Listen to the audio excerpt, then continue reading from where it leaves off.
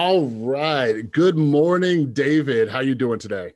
Great, thanks. How are you? Not bad. I'm super excited to talk to you about your new book, uh, The Weight of Air. So, for the listeners out there who don't know you yet, can you tell us a little bit about yourself and what inspired the book?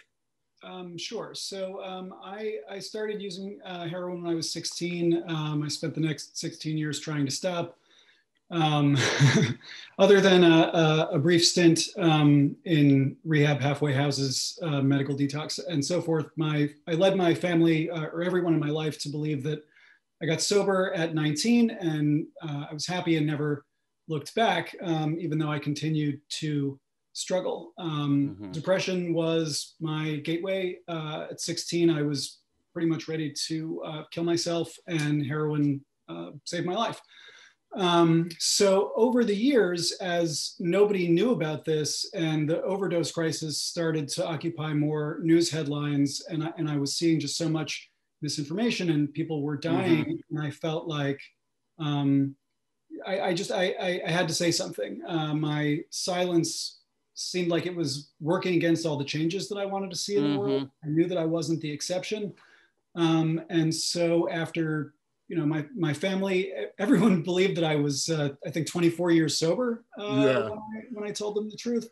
Um, and I, I wrote the book um, basically as a way of, of coming clean to, to my wife. Um, and she responded with such um, compassion and support. And I showed it to a couple of other people, and I got a literary agent, and everything just happened very fast. Yeah, no, absolutely. And I and I can totally relate with all that. Like uh, you know, my my opiate addiction started because of my depression and you know, suicidal thoughts and all that. And and kind of like you mentioned, like heroin saved your life. Like, I don't think a lot of people get that. Like we we use and stuff like it keeps us together it's like the glue it's the yeah. only thing keeping us around you know what i mean yeah i mean well that's kind of the thing is that like um you know when when my parents found out uh, i'd been using for um, about three years and you know, I was too ashamed of the depression to tell them why I started mm-hmm. using. Mm-hmm. Um, I was certainly too ashamed of you know the heroin.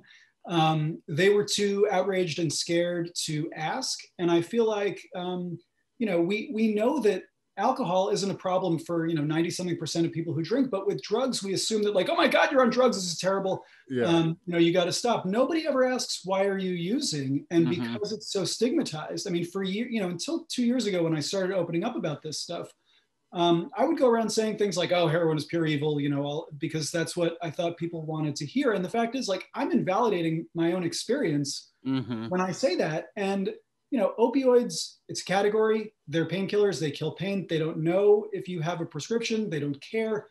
Um, mm-hmm. You know, opiate receptors regulate uh, physical pain and emotional well-being. So painkillers don't know if you're killing emotional or physical pain. And we have yeah. this idea that like they've been in use longer than written language. But we, when we hear someone uh, using illicitly, we're like, oh, well, clearly that's a bad person who's making excuses and the painkillers are causing pain. And it's like everything that we know, you know, these irrevocable scientific facts just kind of go out the window. Mm-hmm. Um, and I don't get it. So yeah, yeah, it, it, it's really interesting too because like you're talking about, especially with opiates, they're they're painkillers, but it seems like all of us, like it's just part of the human experience. We're all trying to get rid of some kind of suffering or pain, and some people turn to sex or shopping or gambling or whatever it is. And guys like you and me, we and you know millions of others around the world, we like turn to. Yeah, yeah, exactly. But we we get hooked on like drugs and it destroys our lives. But but like do you think do you think there's an issue with people not being able to see that you know we just happen to find this this one substance or addicts found this one substance while you know they're they're trying to cope in their own unhealthy toxic ways too? Yeah. why do you think there's such a, a disconnect and that that kind of creates that stigma and misunderstanding I mean, I, I, think drugs have been stigmatized. Um, I'm, I'm, not sure exactly when it started, but I, I read up um, a lot of history. In the uh, during the Civil War, um, opioids were uh, used on on soldiers to cope with you know physical wounds and the emotional trauma. Um, after the war, a lot of you know wealthy landowners in the South were using opium to drown their sorrows. Um, mm-hmm. So opioids were the default medications in America in the 1870s and by and and around that time um, there were uh, in san francisco there were a bunch of white dudes that were upset that their white women were sleeping with the chinese guys that owned the opium dens So they outlawed opium smoking. I think that probably created a lot of stigma. At the turn of the 20th century, one in 200 Americans was addicted to opioids. Mm. Um, and the average uh, addict was white middle class. Um, doctors and pharmaceutical companies were blamed for uh, uh, misleading um, people about the addictive properties of these drugs. So, mm-hmm. you know, the, the I think it was like the Clean Food Act, the Pure Food and Drug Act of yeah. 1906. I mean, you know, so all these things happened, and like by the Harrison Act of 1914, opioids were only available by prescription for physical pain. So it's like we understand opioids for physical pain. You know, you're, you you have knee surgery, and it's like, oh my god you know, uh, you got to obviously you need you need painkillers, but mm-hmm.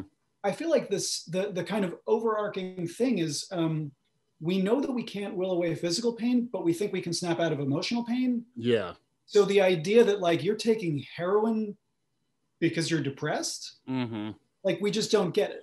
Yeah, um, yeah, it, it, it's it's nuts too. Like uh, I don't know if you've heard of like that one study, but you know they had people like sit alone with their thoughts, and it's like, hey, you could sit here alone with your thoughts or like shock yourself, right? right. And a lot of especially dudes, they were like shocking themselves. Like we hate just sitting there and being with ourselves, you know.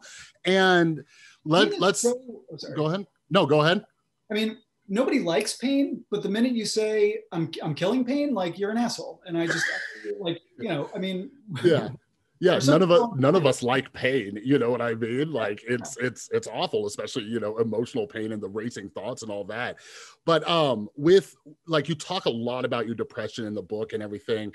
And uh if you don't mind me asking how how old are you? Like when, when did you grow up? Like it was 90s yeah um it, it was uh 80s and 90s i'm yeah. yeah so yeah so i'm i'm 36 i grew up in the 90s and like so we have a little bit of a gap but like you you talk about like the depression and like we're we're we're not educated about it. Like some uh, part of my content is like trying to increase this awareness. Like when you were like middle school high school or even within your household did you guys talk about depression? Did you know what it was? Like like me personally i was looking around i'm like how the fuck is everybody so happy? Right, right. like i just i didn't get it. And it wasn't until recent years that i'm like oh mental health. Oh this is what depression is. So. So how was it when you were growing up and what did it take for you to learn like what depression is and all that? Um, th- that's a great question. Uh, so, I mean, I my earliest memories of childhood are my mom uh, driving around with my mom and, and she's going like why are you so sad? Don't you want to be happy?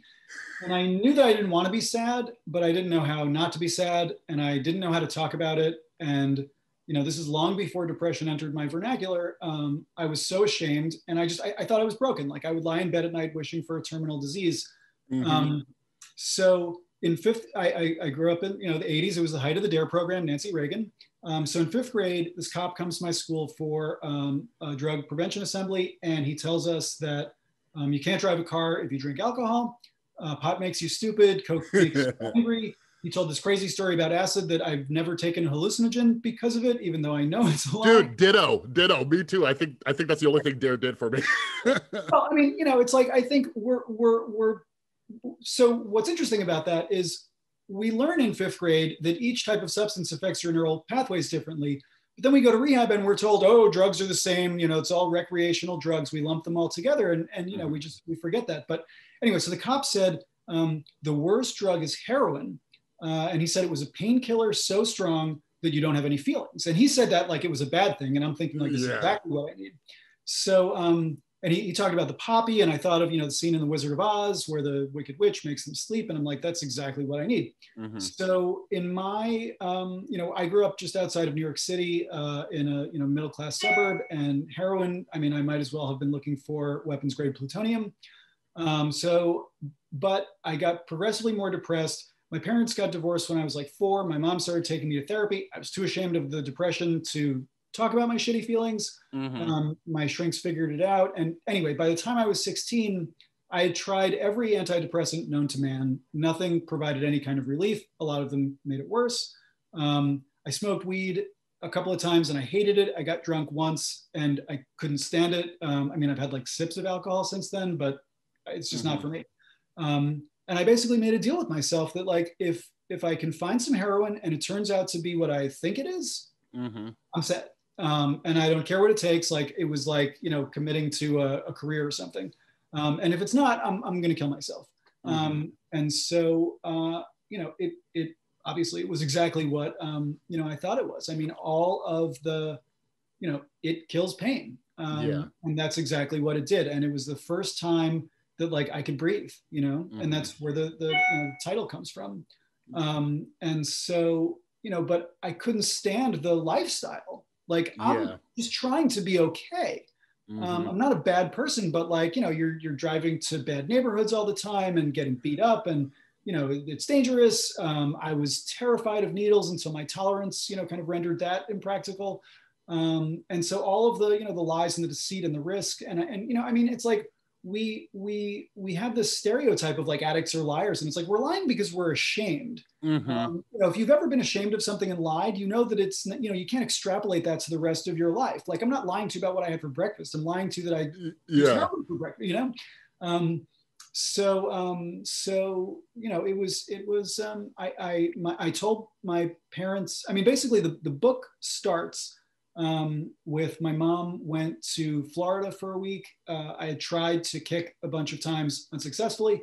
Mhm. Um, I gave my best friend my car and all my money, and I set myself up for this kind of, you know, no exit tol- cold turkey kick. Um, and from there, as far as everyone in my life was concerned, until this book, until they were aware of this book, um, that was the last time I used drugs. The first page of the book is the last time I used drugs, yeah. um, which is obviously not true. Yeah, and, and yeah, you kind of dive into uh because you you went to a treatment program and and they introduced you to the 12 steps and stuff and like we might we might even have to do a part two of this episode but like for example i got i got clean through 12 step programs over my years i've kind of like you know not been as involved in stuff like that. But you know there's obviously like you know issues and criticisms and all that. But can you talk uh, you dive into it in the book but can you talk a little bit about of like what was your experience like in treatment? What you know were, were there things that helped? Uh what turned you off from it? Um you know like share a little bit about that. Okay. I mean, you know, I I I'm very careful um, when I talk about this stuff because I know people who are in AA and it works for them. Um, it doesn't work for me. There's lots of science that shows that it increases dramatically the risk of relapse, overdose, and death. Mhm. Um, if it works for you, great. Um, if it doesn't, there's no shame in that. yeah Uh, so, so for me, um, I got there. My mom had had cancer uh, a couple of times before I got to rehab. I didn't know anybody who went to rehab. Um, I knew what AA was, but that was it. And as soon as I get there and they're telling me I have a disease, I'm like, that's not true. Like, you know, um, you're powerless and all that. And it's like, my mom didn't ask for cancer. I chose to stick needles in my arms. And you're telling me that God, who doesn't cure any other diseases, um, is going to help a scumbag like me and all the junkies and crackheads and drunks.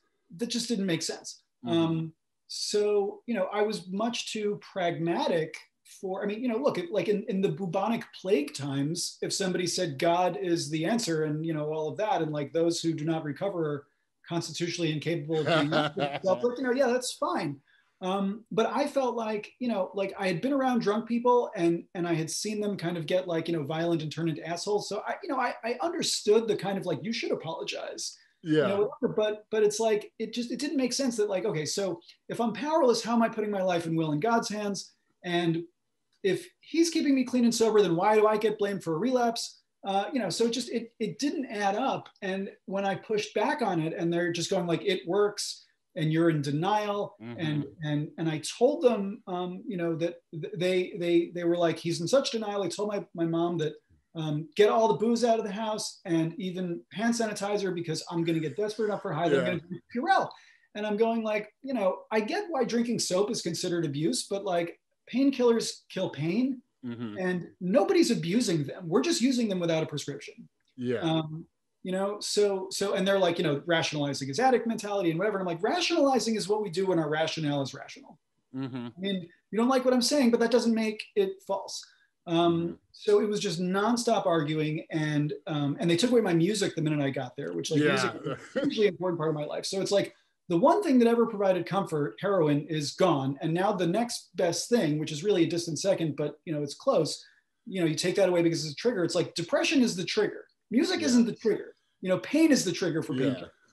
Um, so and and then they told us uh, you know you can't um, no no physical contact with members of the opposite sex which um, seemed perfectly reasonable until this girl showed up there that um, I, I had a huge crush on so i mean i don't want to give away what happens but yeah, it's a great story though that, that helped i mean you know it it it, it helped to uh, you know have some some lust in my loins yeah um, but uh, yeah i mean you know it was it was just i mean now you know it's interesting because um, I, I was accused of, you know, just downright blasphemy at the time. Mm-hmm. And, you know, these outlier opinions and these crazy ass things that I'm saying, like they're facts today, which is nice to be validated. But like, mm-hmm.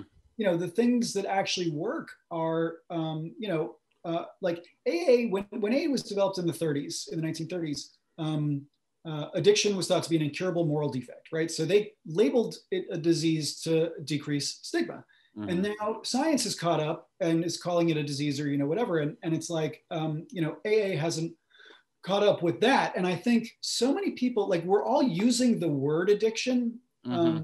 but I think everybody means something different. And, and the yeah. idea that um, sobriety cures addiction, like if, if, um, if we're heroin addicts and we stop using heroin and go through withdrawal and, and all the dope is out of our system, we're sober we're no longer addicted. I'm not talking about the like I'm fiending for dope. I, I mean, your body is no longer dependent on heroin, mm-hmm. right? So sobriety cured our addiction, right? Mm-hmm. Sobriety does not cure your compulsion to use drugs. So, you know, it's like um, compulsive behavior is uh, a mental health disorder, and addiction is a physical um, is a physical medical condition. Mm-hmm. So, like compulsive behaviors, you know, like the, the, the people that like, I have to turn the doorknob 37 times or else, uh, you know, um, yeah, mom's to die or something right, crazy. Yeah, yeah. Exactly. Right. So like, if you stop turning the doorknob, you are sober. You still want to, we haven't solved the problem of why you're turning the doorknob. Mm-hmm. And I mm-hmm. think that's the part that's missing. So we, we, we are told that sobriety is the answer. I mean, sobriety and recovery were used interchangeably in rehab mm-hmm. when, when I was there. And that's not the, I mean, pain doesn't stop when you stop taking painkillers, it gets worse. Oh yeah, for sure. Um, yeah, yeah. When I, uh, you know, when I did my cold turkey detox, I, I uh, my mom tossed me into a sober living. She, you know, she stopped drinking when I was like 20. But anyways, I went into sober living, and and yeah, I, I totally get what you're saying. Like, I was more depressed and suicidal when the drugs were gone right? Yeah, and the yeah. fact that they took away your music, like I'm reading that, I'm like, what what is happening? You know, the, pain comes back. I mean, yeah. you know, you're taking painkillers. yeah, yeah, and uh, and yeah, so yeah, I definitely I definitely agree with what you're saying. Like, uh, I I worked at a treatment center for three years, and you know, teaching and sharing my experience and stuff like that. And although the 12 step uh, programs helped me, I had to use this massive filter, right? Because you get people who are very dogmatic, right? And there were so many people who made me want to just get up and leave. It's just, I was just so desperate. I'm like, whatever, I'll sit here and I'll just filter all this stuff out. I'll tune out who I had to. So, you know, and, but kind of like you said too, like, you know, it works for some people, it doesn't work for others. Like for me personally, like my advice to new people or people who want to get clean, I'm like, hey, whatever the hell works, right? As long as you're not miserable anymore, and long as you're not killing yourself and hurting your family and and all that, you know. I mean, well, and, and that's kind of the, the key that I think we lose sight of is that like, um, you know, oh, sobriety gets easier with time and all that. Like the biological mechanics of a hit of heroin is the same as you know blackjack, sex, crack, like all the other stuff that you mentioned. I mean everything. You know, it's a it's a flood of dopamine and serotonin to your brain. It's oxytocin. You know, it's all the all the feel good feelings. The difference is that opioids are the only type of substance, and obviously vice, um, that have a natural target in the brain, your opiate receptors. And so mm-hmm. they they multiply with each dose, and that's whether you're prescribed it for knee surgery or you're you know buying it in the street. It doesn't matter. Um, and so we ha- that's how tolerance happens, right? We get more and more opiate receptors. They need to be saturated um, in order for us to just feel, you know, some base mm-hmm. level of normal. But there are all these studies that show that, um, you know, the neurotransmitters that rewire when addiction happens, like I need to get more dope.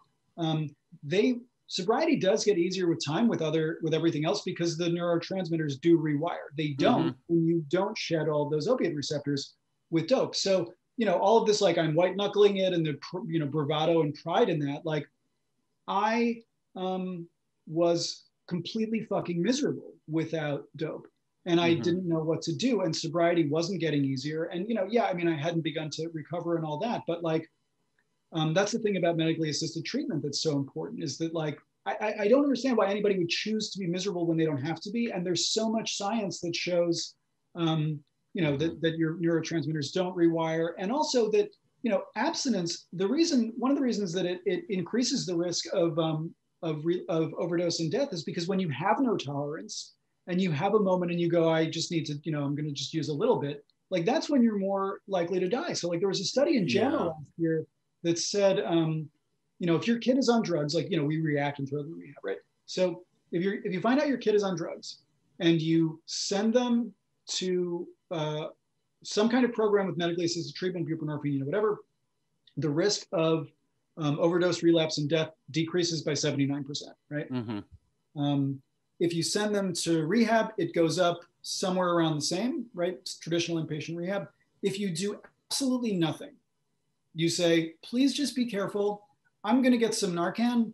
Um, don't use alone. You know, just mm-hmm. basic harm reduction shit. Yeah. Um, their chances of survival are significantly higher than if you send them to an AA meeting or, mm-hmm. or sorry, inpatient rehab, you know, all like that. And that just kind of like blows my mind. Like I had to read that a thousand times um, yeah. because that, you know, like it's it's the opposite of what we're told. And even though I know that that stuff doesn't work, I still was like, wait a minute, can that really be? But yeah, sure. So yeah.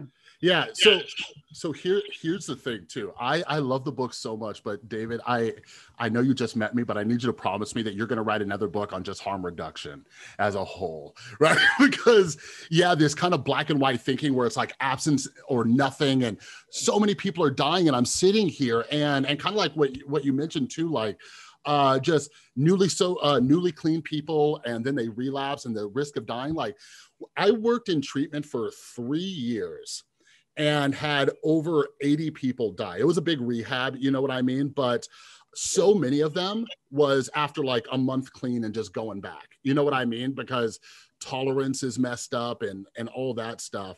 But yeah. man like i i i would love for you to talk because yeah, because like my only criticism of the book, I was like, all right, now we're getting into when he gets like, you know, buprenorphine, right? Like you never even heard of this stuff.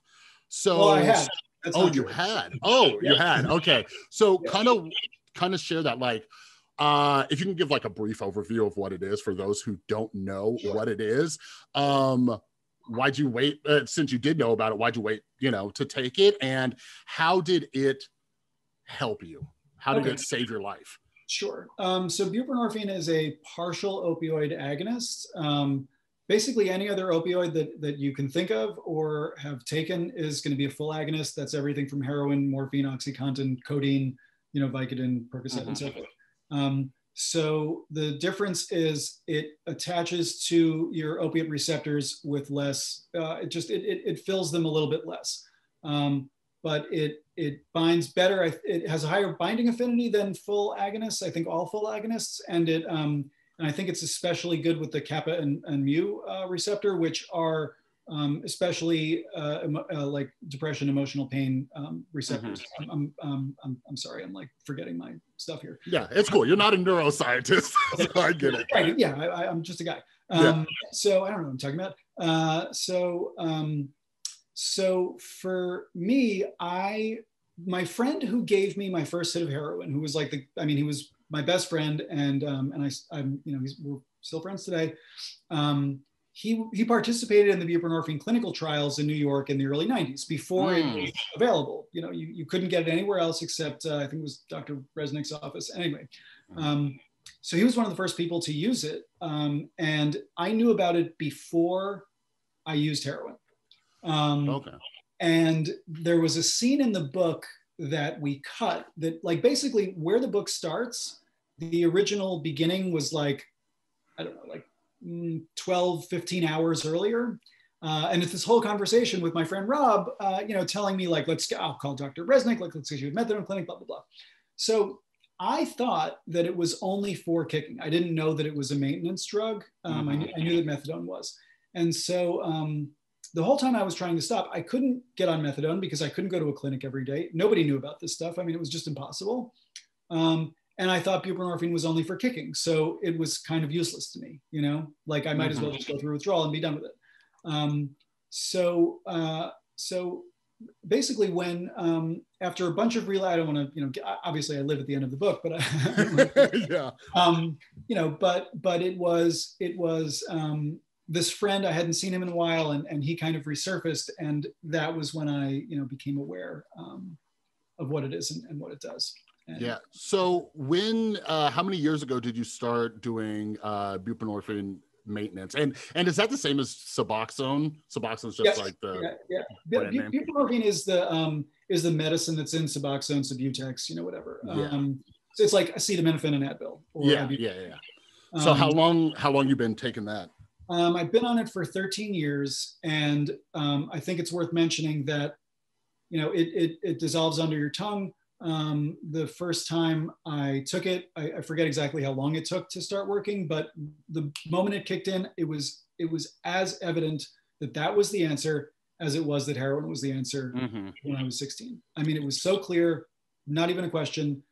It saved my life. It gave me my life. Um, you know, I, I it was like getting rescued in a in a rescue boat when you've been flailing in the middle of the ocean for you know 20 years. Mm-hmm. Um, and uh, and so um, you know I, I didn't tell anybody about the buprenorphine either um, i was on it for 10 years you know not even my wife and um, because i was so ashamed uh, and when i started talking you know it, it's like it it raises the basement level of my depression so like if i'm normally you know in in the you know root cellar um, it lifts me up to a point where you know there's there's like um, you know, depression is a degenerative biological condition, right? So this manages that. Mm-hmm. There's circumstantial depression of like, um, you know, I, I, I, something crappy happens and I feel bad about it. Um, you know, it, it doesn't numb all pain the way that it, it allows me to function like a normal person. Yeah. Right. Um, and, and the same, you know, it's like, if you think about it, like, um, you know, you have back pain, your doctor gives you Percocet and then you fall off a roof, you're going to need something stronger than Percocet yeah. Um, you know, so um, so I, I I was I was taking it, and you know, I had this doctor who, after ten years, she was like, you know, you've been on it for ten years, you don't need this crap anymore, you got to stop taking it, whatever. And I'm at, at that point, um, actually, it was 11 years. I was out in the world screaming about don't let anybody shame you out of buprenorphine um, and i'm thinking like yeah i'm a disgusting junkie. I should stop doing this. I don't need this crap you know whatever. Yeah. And um, and and it's such it's such faulty logic. Um, last year uh, i was invited on um, uh, that show uh, the doctors uh, oh yeah yeah you mentioned that in the book i think yeah so um so did i oh yeah right did you, it was either that or i saw your tweet about it yeah, it's in the epilogue yeah um so they asked me the same question. You know, you've been on this stuff for a long time. When are you going to stop taking it? You know, whatever. And um, and I said, uh, you know, would you ask a uh, if we were talking about diabetes insulin? Would would you say, you know, well, gee, your your diabetes is clearly in check. When are you going to stop taking this life saving medication? It's working. You know, my my everything is cool because I'm taking it. If I mm-hmm. stop, I'm going to have a problem. And so if I'm susceptible to that kind of, you know, stigma and shame and stereotyping and all that, and I'm like screaming about this on television, um, I can't imagine like an 18 year old kid in Kentucky whose parents are being told by these experts without medical qualifications, oh, it's an extension of his addiction. It's just as bad as heroin, you know, blah, blah, blah. It's like, I mean, look, after your next hip replacement surgery, ask for buprenorphine instead of morphine and let us know how it goes. Um, but, you know, it, it, it, like people are being, um, you know, weaned off and, and forced off. And it's, it's just, it's, it's dangerous. This is the mm-hmm. leading cause of death right now. Like there's nothing more important than that and yeah. we're, we're, we're just you know sabotaging all these opportunities for change yeah absolutely and and that the the shame around it like just the shame around addiction the shame around mental illness and then the shame around harm reduction. I will i will never forget i will never forget when i was when i was new and you know going back to you know speaking of like meetings and stuff i remember going to this meeting and this dude shared his story. He was celebrating like three years. He shared this story like uh, i believe his wife died and his daughter died right? And he's been clean from heroin for three years and that that inspired me. I was like a month or two in right? And then after the meeting i remember people talking like he's not really clean. He's on he's on buprenorphine. And i'm like are you are you kidding me right now? I'm like this dude's life like this dude like has had stuff happen that I can't even fathom. And you're judging him, you know, for this. So there's not only like, you know, kind of the medical stigma, but there's stigma in the rooms and stuff. And for me personally, it's like the quality of life. Like, That's like exactly I, you know, just sitting here with you right now after reading your book, your quality of life seems pretty damn good. I'm on it right now. I mean, I don't think I seem fucked up, but um, you know, uh, you, you tell me. But um, yeah, I mean, you know, I think it's it's so um, you know, the minute drugs enter a conversation, it's like we kind of lose our minds. I mean, you know, my mom is more educated than most, just you know, by virtue of, of listening to my you know bullshit all the time. Yeah. Um, but she falls into this old way of thinking also, and it's like you know, the bottom line: when something is dangerous, we find ways to make it less dangerous. Like period we don't say like, oh, well, if you fall off your bike, uh, you know, you might you might hurt your head, so therefore we're not going to make bike helmets available and we're going to outlaw bicycles. Like that's not how anything works. Like gun locks, um, seatbelts. I mean, these are all things that save lives. And the idea that like this many people are dying and people are going, oh, well, you know, um, of course drugs are illegal, you know, because they're dangerous and alcohol, you know, isn't. I mean, that's just not true. Mm-hmm. Alcohol mm-hmm. is safer because it's legal. Overdose is an overly potent dose, right? Mm-hmm. So if potency is by volume, um, you know, if, if like if there's two pint glasses right on, on a table, and one of them is you know two percent beer and the other one is is 99% grain alcohol, um, you know, you're gonna die if you drink the grain alcohol, right? Mm-hmm. If you don't know it's grain alcohol, you're you're fucked and you're dead, and that's how accidental overdose happens. If you if it's labeled this one is the beer and this one is the grain alcohol, you can prevent overdose. So mm-hmm. people are dying because one bag of heroin, you know, there's no consistency in the potency. It's it's all unknown. There's no quality assurance number you call and say like my heroin has fentanyl in it. Yeah. Nobody's asking for the lethal fentanyl when they buy dope.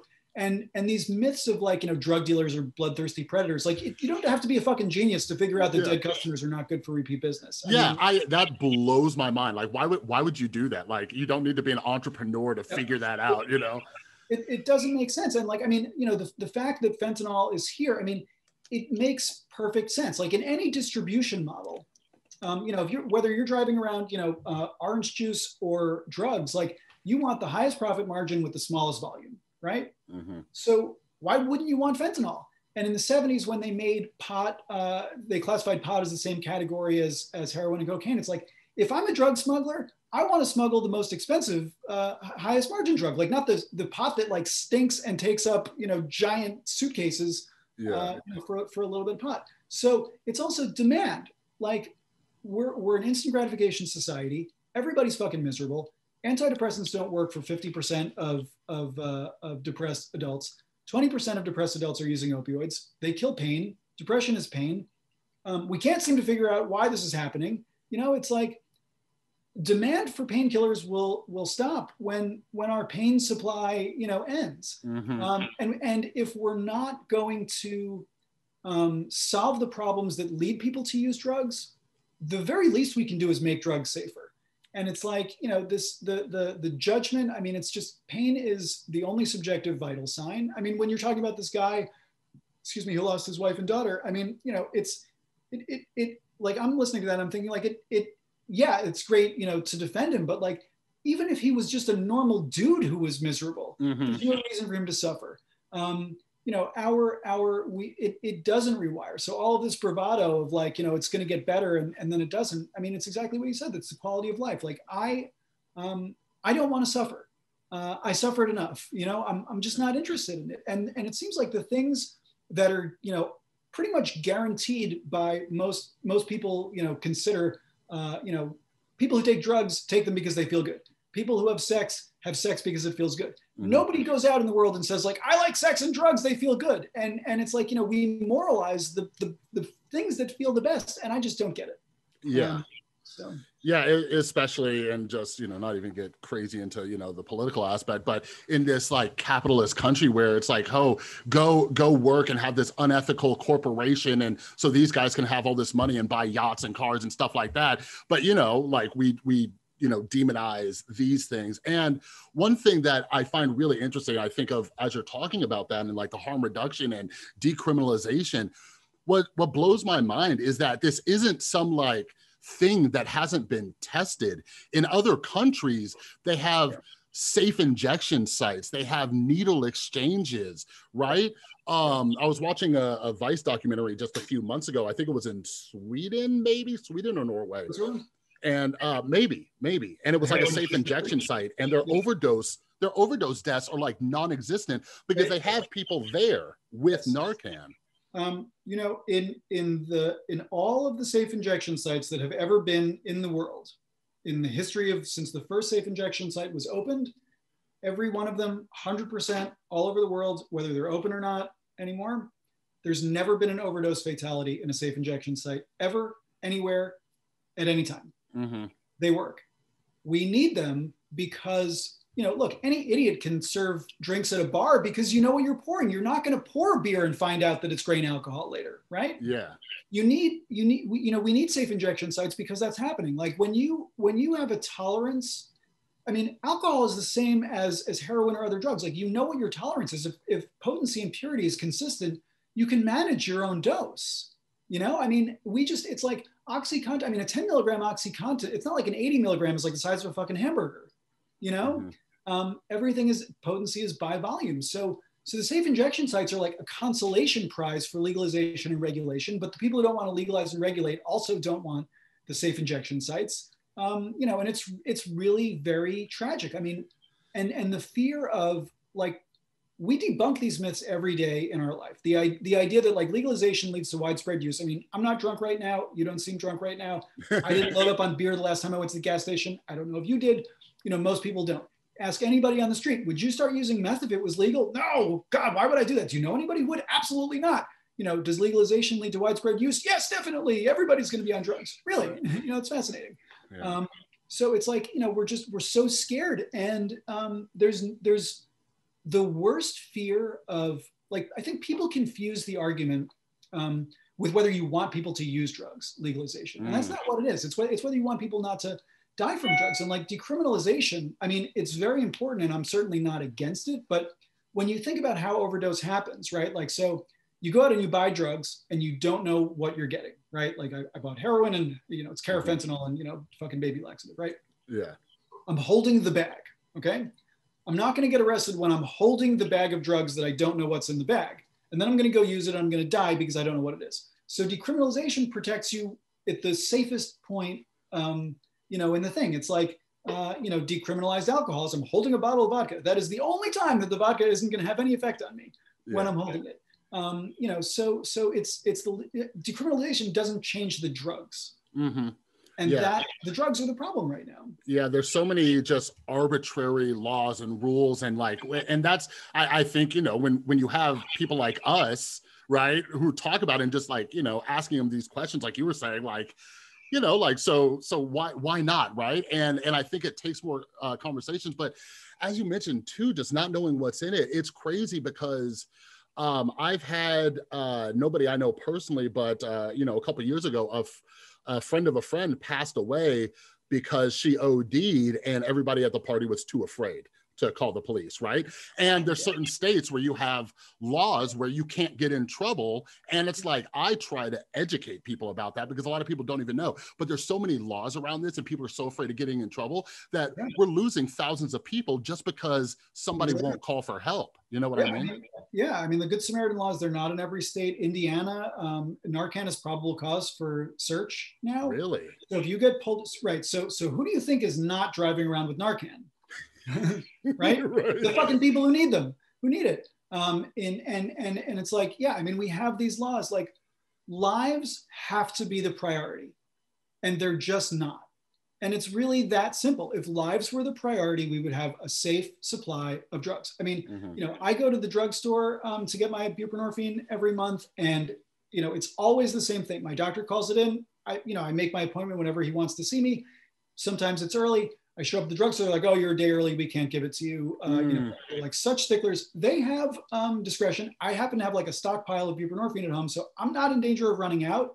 But they're treating me like I'm, you know, getting stoned on it or something, uh, or I'm selling it or whatever it is. They threatened to call the DEA on me once, which is totally fucked up. Really? But in the meantime, yeah. But like, so the dr- the drugstore is right next to a liquor store, right? So I could like leave the drugstore, go to the liquor store, buy enough booze to die, you know, a million times over. No problem. We trust you with that. You know, we trust you to buy guns they're dangerous, but we trust you. Don't do anything bad.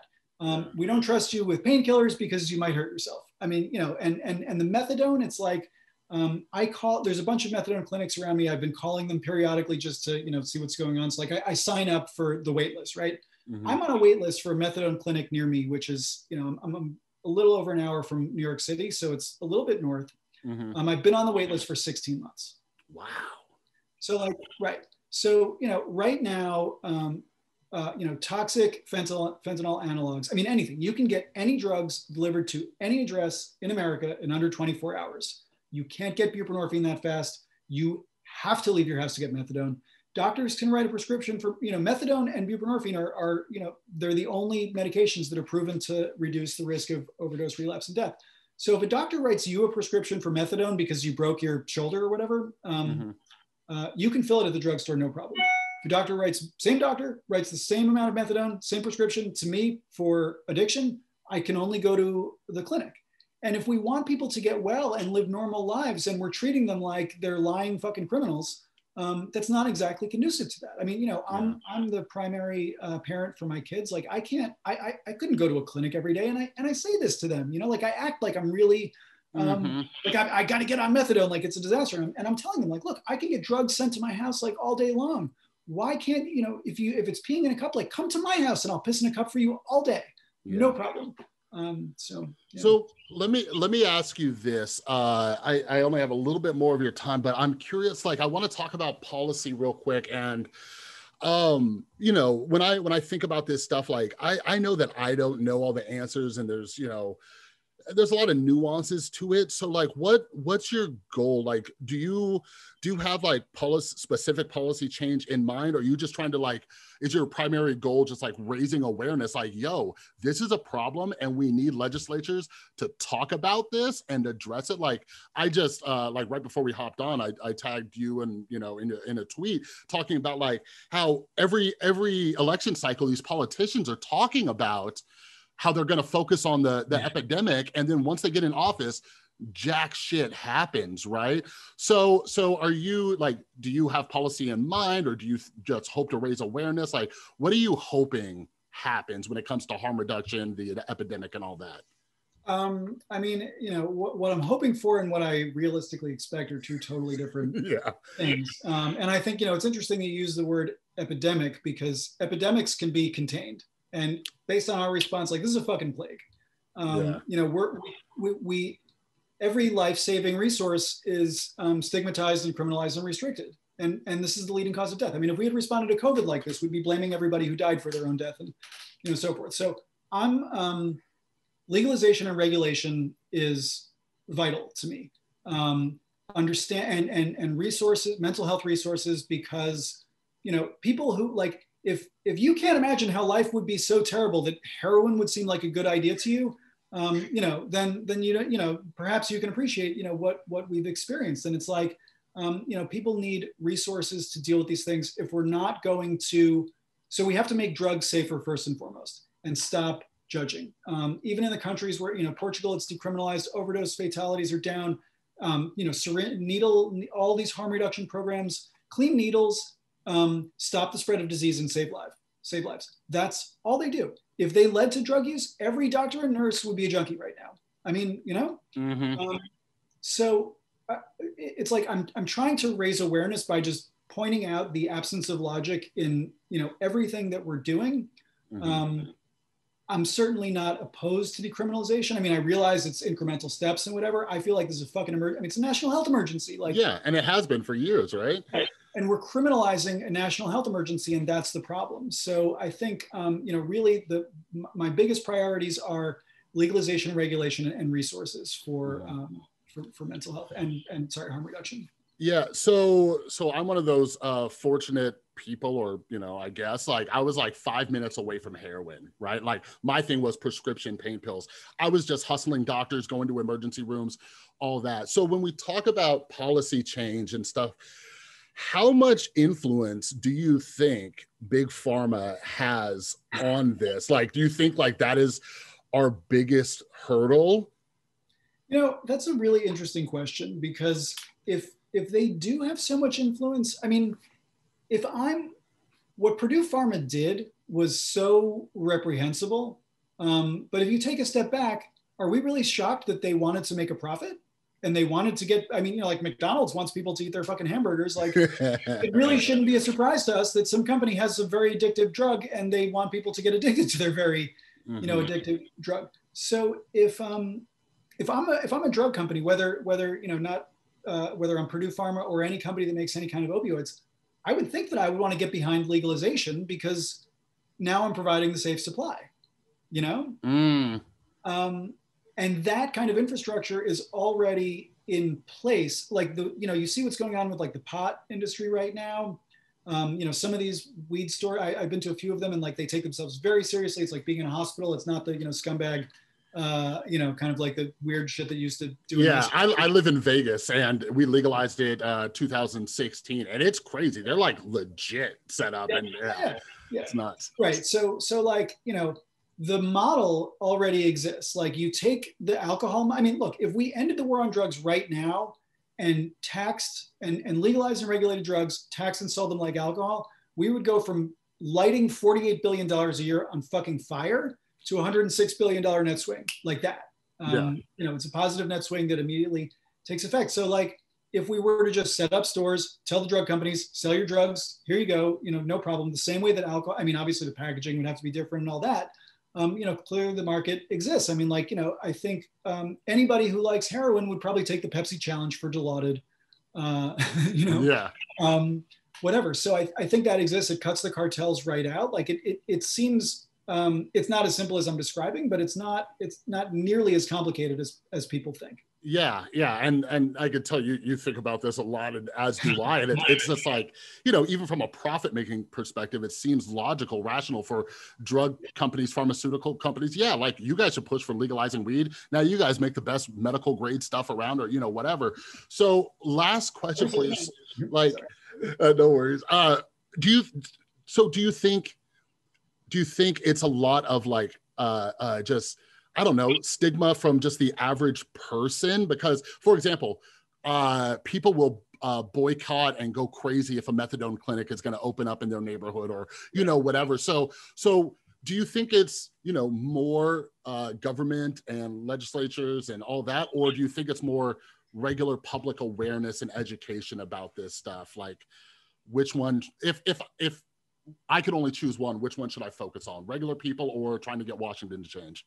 Um, I think it's regular people because I mean, when you look at the last year's election cycle, the the only things that received overwhelming bipartisan support were drug bills. You know, mm. I mean, in, in Oregon, in uh, Washington D.C., any state that that had any kind of decriminalizing, legalizing, whatever, it was overwhelming because everybody. This affects everybody you know so i think politicians they respond to people they, they don't say like i think we should legalize drugs. What do you guys think? Like they've got people banging down their doors going let's legalize drugs and they're like i guess we're going to do that. Um, so I, I think it's really it's it's a grassroots ground up thing. And and for me the challenge is like you know i'm not a famous person. This is my first book like two years ago. Nobody knew any of this crap. So like i'm i'm you know a baby. Um, and you know i just i, I hope that more people go out and, and learn about this because like the whole point of the book is to raise awareness of the issues. Like this mm-hmm. is definitely not you know i mean I, I was in private equity for 20 years i don't have a job anymore um, except writing like this is definitely not a get rich quick scheme i really don't care if anybody buys the book i want people to read it yeah. Um, no, even as we're talking, it's been on sale for 99 cents. Like even, even though you you sent me a copy, I went and I was like, here, I'll buy another copy, you know, whatever. But yeah, so so hopefully that sale's still going on when everybody's listening to this. But uh, but yeah, absolutely, man. And uh yeah, I I really appreciate you coming on and there's so much more that you talk about in the book, and we could talk about this forever. But but yeah, man, like uh where where can people find you, uh, you know, to stay in touch. Like you're always tweeting about drug policy and all the ridiculousness and stuff like that. So, uh, where's the best people for uh, way for people to follow you and all that kind of stuff? Okay, um, so my website is davidposes.com, um, just how it sounds, um, and all my social media uh, handles are, you know, it's it's all on that. There's a contact form um, through that. I'm David the Kick on Twitter. On Instagram, I'm David underscore the Kick. I don't really use Instagram that much, so Twitter is definitely a better place. But um, you know, my, my website, send an email through my website, um, carrier pigeon. I'm in my house. Uh, you know, you can find me here pretty much anytime. So yeah. beautiful, awesome, yeah. And I'll link all that stuff down in the description below. But yeah, man, I appreciate your time so much, and yeah, we'll talk again soon. Great. Cool. Here, let me end this.